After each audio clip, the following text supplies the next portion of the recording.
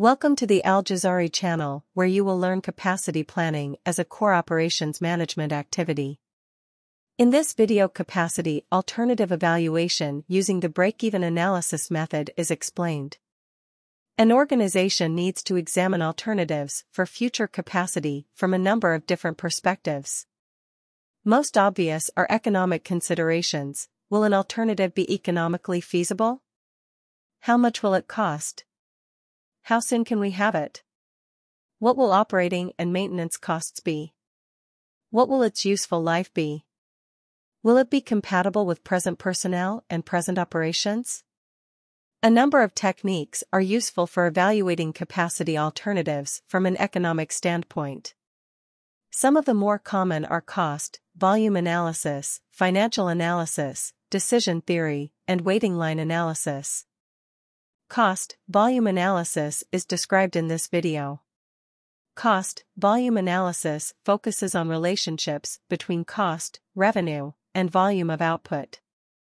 The purpose of cost, volume analysis is to estimate the income of an organization under different operating conditions. It is particularly useful as a tool for comparing capacity alternatives. The use of this technique requires the identification of all costs related to the production of a given product. These costs are designated as fixed costs and variable costs. Fixed costs tend to remain constant regardless of the output volume. Examples include rental costs, property taxes, equipment costs, heating and cooling expenses, and certain administrative costs while the variable costs vary directly with the output volume. The major components of variable costs are generally materials and labor costs. The total cost associated with a given volume of output is equal to the sum of the fixed cost and the total variable cost.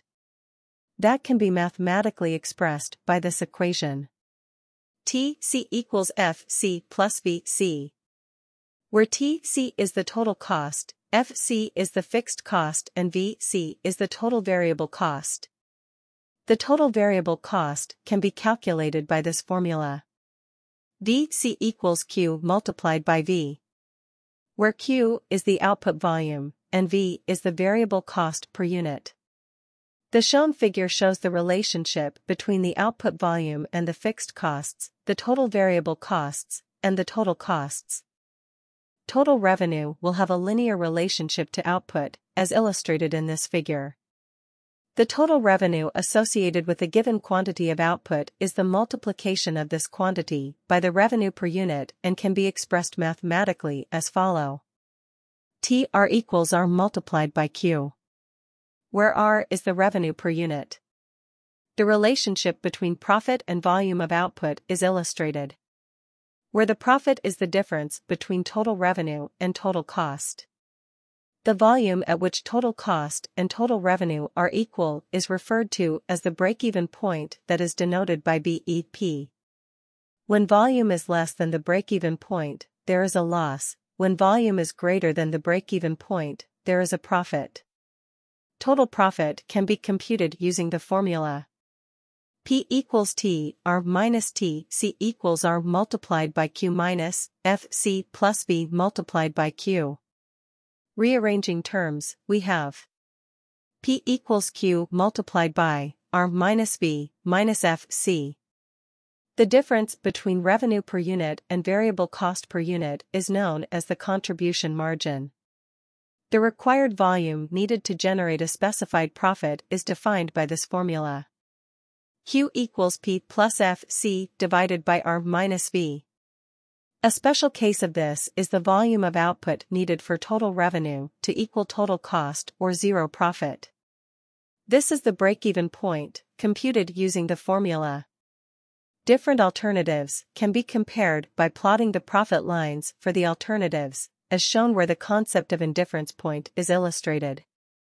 At this point, the decision maker would be indifferent between two competing alternatives.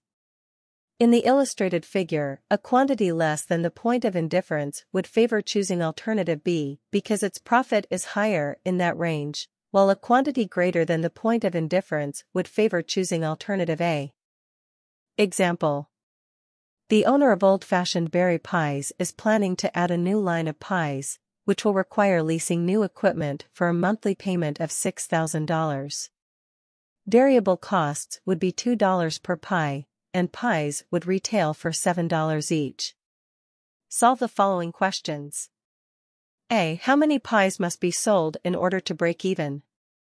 B. What would the profit or loss be if 1,000 pies are made and sold in a month? C. How many pies must be sold to realize a profit of $4,000? D. If 2,000 pies can be sold, and a profit target is $5,000, what price should be charged per pie? The givens are fixed cost, FC is $6,000, the unit variable cost, V, equals $2 per pie, and the revenue per unit, R, equals $7 per pie. The first question is to find the break-even point or QBEP, which can be found by solving this formula. So, QBEP equals 6000 divided by 7 minus 2 equals 1200. So, the answer is QBEP equal to 1200 pies. The second question is to find the profit or loss if Q equals 1000 pies. To do this use this formula. Substituting by the given values, P equals 1000 multiplied by 7 minus 2 all minus 6000. This equals negative 1000. This negative sign means loss. So, if they produce and sold 1,000 pies monthly, they will face a loss of $1,000. The third question is to find the quantity to make a profit of $4,000. To do this simple substitute in this formula. Q equals 4,000 plus 6,000 divided by 7 minus 2 equals 2,000 pies. So, to make a $4,000 profit 2,000 pies would be produced and sold. The last question is to find the pie price or the revenue per pie, R, if they sold 2,000 pies and aim to obtain a $5,000 profit. Using the same formula and substitute by the given values. 2,000 equals 5,000 plus 6,000 divided by R minus 2. Solving this for our results in R equals $7.50. So, to sell 2,000 pies and obtain a $5,000 profit, the pie price has to be $7.50. In this video, evaluating alternatives using the break-even analysis was explained using an example.